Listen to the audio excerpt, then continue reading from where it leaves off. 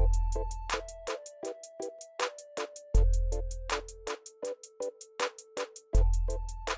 Alors, euh, ce qu'on constate, c'est que les ménages en Outre-mer euh, consomment euh, en dépenses de consommation moins que les ménages métropolitains.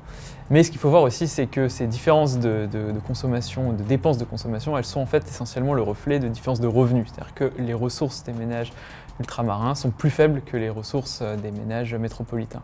Alors il y a le niveau des dépenses, mais ce qu'on constate également, c'est que la structure des dépenses est différente en Outre-mer.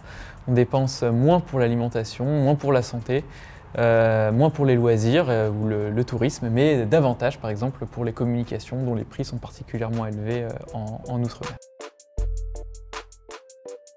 Alors, le ressenti des populations ultramarines sur leur niveau de vie, il est ambivalent.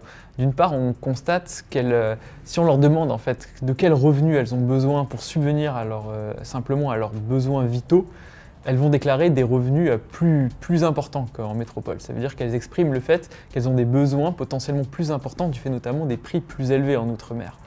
Par contre, si on les interroge sur leur ressenti sur leur niveau de vie, euh, elles vont déclarer un ressenti plus favorable sur leur niveau de vie que les ménages métropolitains, notamment du fait qu'en Outre-mer, la population est globalement plus pauvre. Donc à revenu égal, un ménage en Outre-mer sera euh, davantage enclin à se considérer comme relativement aisé ou ayant un niveau de vie relativement correct, parce que euh, les gens qui peuvent, qui peuvent côtoyer ont un niveau de vie globalement plus faible.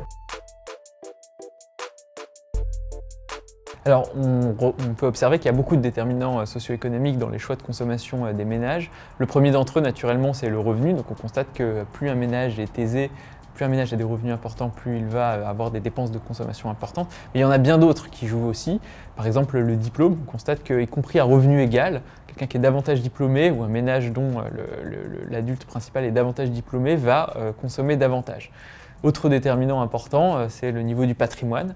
Donc par exemple, euh, à revenu égal, si vous avez un patrimoine qui est important, vous allez euh, davantage être en mesure ou être enclin à dépenser qu'un ménage qui a un patrimoine relativement modeste.